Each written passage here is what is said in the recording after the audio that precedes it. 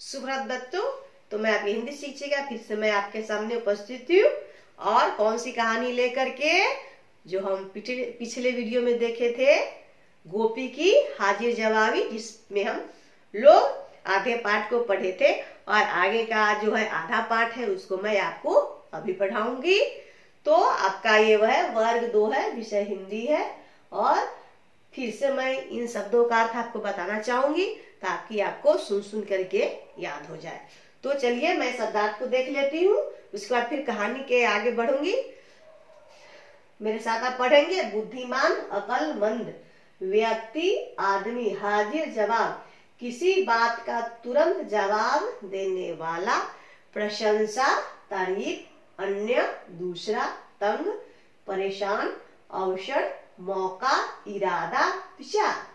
तो आप अपनी कॉपी निकालेंगे, किताब निकालेंगे, और देखिए ये आपका है पाठ। पाठ पंद्रह, गोपी की हाजिर जवाब इतिहास इसमें पढ़ लिए थे। एक सेठ जी थे, एक सेठ जी थे जो क्या थे, वो गोपी से बहुत ही चिढ़ते थे, और गोपी नाम का व्यक्ति था, वो कौन काम करता था? वो कपड़े को रंगने का काम करता था।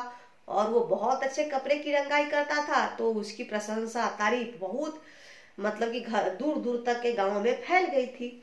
और लोग उसकी बहुत तारीफ़ करते यह सेठ जी को बिल्कुल भी अच्छा नहीं लगता था। और वो सोचते थे कि, कि हम इसको कैसे तंग करें। तो एक दिन उनकी पत्नी जो थी सेठानी थी वो क्या की कि बोली सेठ जी से कि मुझे कपड़े रंगवाने हैं। और सेठ जी तो इसी मौका में थे। वो बोले कि हाँ लाओ लाओ। मैं तुम्हारे कपड़े को रंगवा दूँगा। तो सेठानी जो थी, वो सेठ जी को कपड़े दी और सेठ जी वो कपड़ा लेकर के गोपी के पास गए और गोपी उनसे गोपी को बोले कि मुझे आपसे, मुझे कपड़े रंगवाने हैं तो तुम्हारी बहुत तारीफ़ सुनी है। तो गोपी बोले, गोपी बोला कि ठीक है से लाइए मैं आपके कपड़े को रंग दूँगा। फिर गोपी पूछता है कि आपको कपड़े किस रंग में रंगवाना है? तो सेठ जी बोलते हैं कि मुझे इसकी कोई पसंद, नापसंद की मुझे ज्ञान नहीं है। लेकिन मुझे लाल, पीला, हरा, बैगनी, आसमानी मुझे कोई पसंद नहीं है। तुम जिस कपड़े से रंगना, रंग से रंगना चाहते उस रंग से रंग देना। गोपी समझ गया कि सेठ जी को कपड़ा रंगवाना नहीं है, मुझे परेशान करने का इरादा है। और वो सेठ जी से कपड़े लेकर के अलमारी में रख करके ताला लगा दिया। अब इस कहानी को फिर आगे पढ़ते हैं तो फिर आप समझ जाएँगे कि क्या हुआ? वे सोच रहे थे कि अब गोपी को खूब तंग करूँगा। अब सेठ जी बोले, मन ही मन सोचे कि अब गोपी को खूब तंग करूँगा, यानी कि परेशान करूँगा। उन्होंने पूछा, गोपी, मैं इसे किस दिन लेने आऊँ? तो फिर सेठ जी बोलते, गोपी, इस कपड़े को लेने में किस दिन आऊँ? तो चलो अब देखिए कि गोपी सेठ जी को क्या जवाब देता है। अब गोपी को मौका मिला, अवसर का मतलब होता है, मौका मिलना इसको आप लिखेंगे। हँसते हुए बोला कि सेठ जी, सोमवार, मंगलवार, गुरुवार, बुधवार, शुक्रवार, रविवार, शनिवार को छोड़ करके किसी भी दिन आप अपने कपड़े को लेने आ जाना।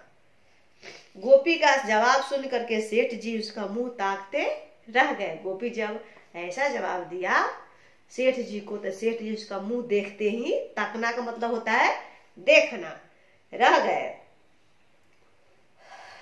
समझ गए कि मेरी चाल मुझ पर ही उल्टी भर गई है। अब सेठ जी समझ गए कि मैं जो इसके साथ चतुराई किया, वो अब वो मेरे ही साथ में इस्तेमाल कर रहा है।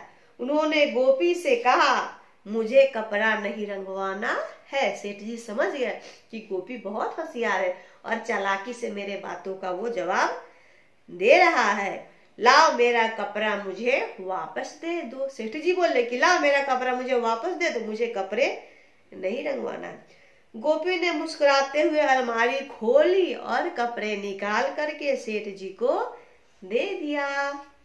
सेठ जी कपड़ा लेकर के चुपचाप खिसक गए। फिर कभी वे गोपी की दुकान पर नहीं आए। तो सेठ जी कपड़ा लिए और वहाँ से खिसक बने। वो फिर दोबारा कभी गोपी के दुकान पर नहीं आए, क्योंकि वो गोपी को तंग करना चाहता था। उन्हीं के जवाब में गोपी उसे जवाब दे दिया। तो इस बात से, इस कहानी से आप क्या सीखे? तो यही सीख मिली आपको कि आपको किसी से जलना नहीं चाहिए। कोई अगर अच्छा काम करेंगे तो लोग आपकी तरफ़ तारीफ़ करेगा। और आप दूसरा कोई आदमी अगर अच्छा काम करता है, लोग उसकी तारीफ़ करेंगे तो इसी के साथ ये आपका कहानी जो है समाप्त हो गया और आपका जो प्रश्न उत्तर बच गया, उसको मैं होमवर्क में आपको भेजूँगी। धन्यवाद।